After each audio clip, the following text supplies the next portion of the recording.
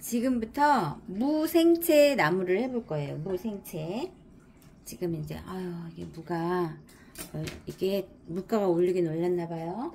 이게 2,000원씩 하던 거를 4,800원에 하나 샀어요. 그래도 크니 다행이죠. 일단 물을 그 채를 썰어야 되거든요. 근데 그 채 써는 게 보통 일이 아니잖아요. 그러니까 물을 이렇게 클 때는 제가 큰 무는 이렇게 반 잘라가지고 지기 좋게 지기 좋게 해서 어, 일일이 채 썰면 시간 걸리니까 여기다가 하겠습니다.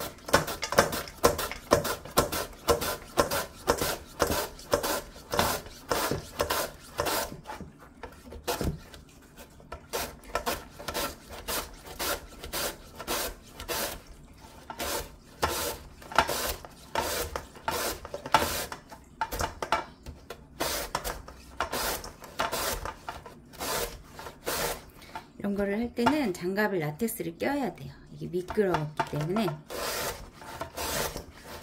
무는 벌써 맛있는 냄새가 있네요. 이렇게 벌써 재료를 다듬을 때부터 이 식재료가 맛있으면 그 냄새가 맛있는 냄새가 나요.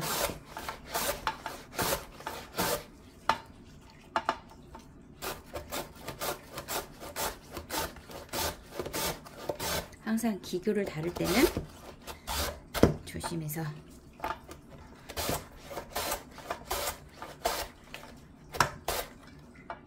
좀 남았으니까 넣고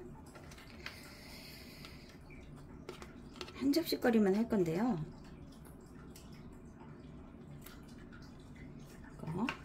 이 정도 한 접시거리만 한번 해볼까 하는데 조금 더 할까? 이거는 이거는 그래도 크니까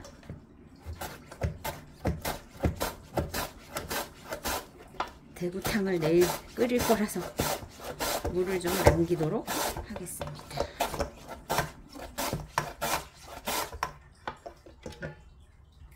이 무는 남겼다 대구탕을 끓일게요. 그래서 이제 이 정도 이렇게 됐으면 이거를 꽃소금으로 꽃소금으로 숨을 죽여요. 꽃소금 이렇게 한 숟갈. 그래가지고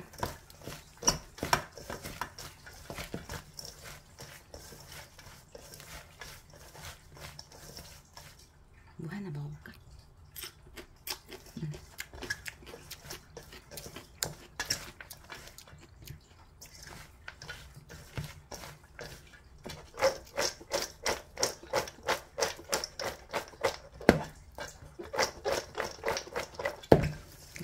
꽃소금에 살짝 숨을 죽여갖고.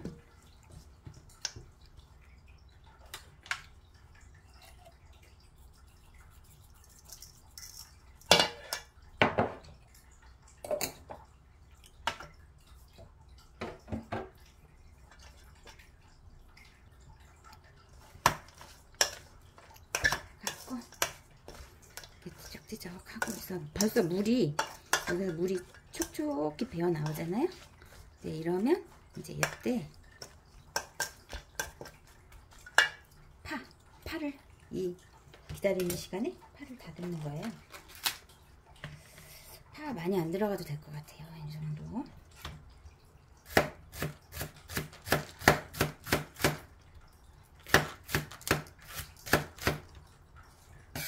이쪽 그다음에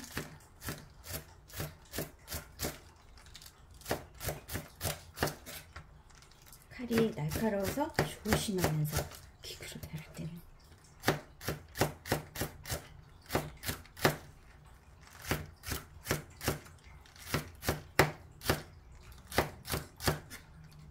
여기다가 쪽파를 넣어도 되는데요. 없을 때는 대파 넣고 하면 되고 쪽파를 넣어도 맛있죠. 여기다 하면. 그 음식이 너무 막 이것저것 다 갖추려고 하면은 오래 걸리고 그러니까 얼른 뚝딱뚝딱 하는 게 관건이랍니다. 지쳐서 못해요. 쉬운 방법으로 빨리빨리 해야지. 돼가지고 벌써 물이 촉촉히 배어 나오잖아요. 이거 한 접시 나오거든요. 이렇게 되면 간이 간은 됐네 벌써. 음, 여기다가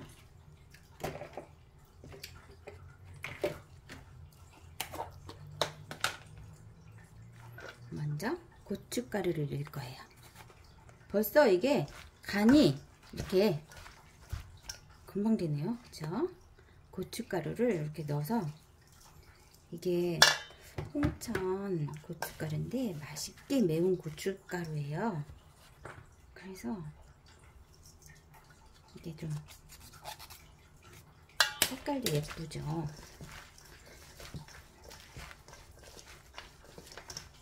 이렇게 해서 빨갛게 좀 물을 들여요. 손은 좀 물을 따라 버리려고 했는데 따라 버리기 아까울 만큼 배, 이 배가 아니고 무가 맛있네요. 국물도 먹어도 괜찮을 것 같이 맛있을 것 같아요. 이렇게 됐죠? 됐으면 파를 넣어요.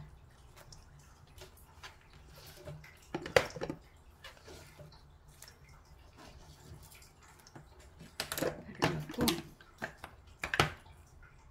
마늘, 마늘 조금 넣어요.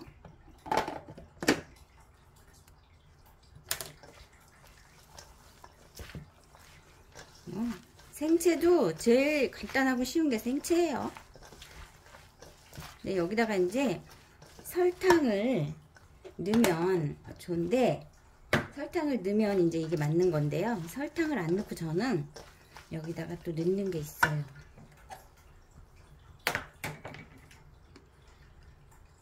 설탕 안 넣고 이번에 오미자를 활용을 많이 해보도록 할 거예요 제가 오미자. 오미자. 금방 먹을 때는 이런 거 넣어도 괜찮아요.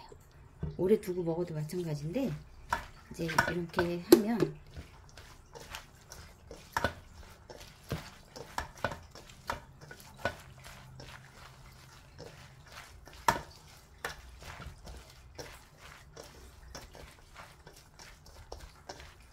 그런데 여기다가 이대로 먹어도 되는데 조금 더 고춧가루를 조금 더 넣으면 좋겠다 싶어요. 고춧가루를 묻혀 봐가면서 하는 거예요. 요리가 요리가 별거 없어요. 그때 그때 상황 봐가지고 가감을 하는 거예요. 뭐든지 이렇게 하면 이제 여기 설탕 안 들어가도 그 오미자가 들어가서요. 맛있어요 이게.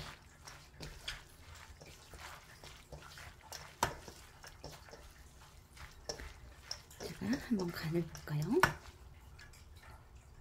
간을.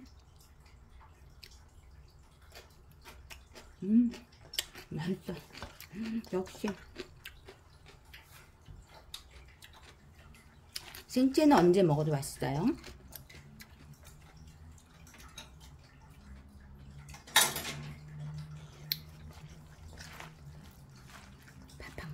뚝딱 생채. 무생채. 조금 있으면 막 김장철이라서 무 많이 나올 텐데 그 전에 생각나니까. 아 잠깐. 다시 한번. 여기에는 또 깨가 필수예요. 깨를 들어가야지 깨가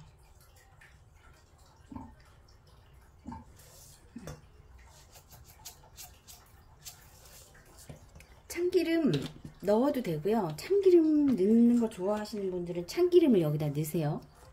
그리고 이렇게 깨만 넣어도 돼요. 깨만 넣어도. 깨만 넣어도 굉장히 이게 고소한 그런 맛이 난답니다.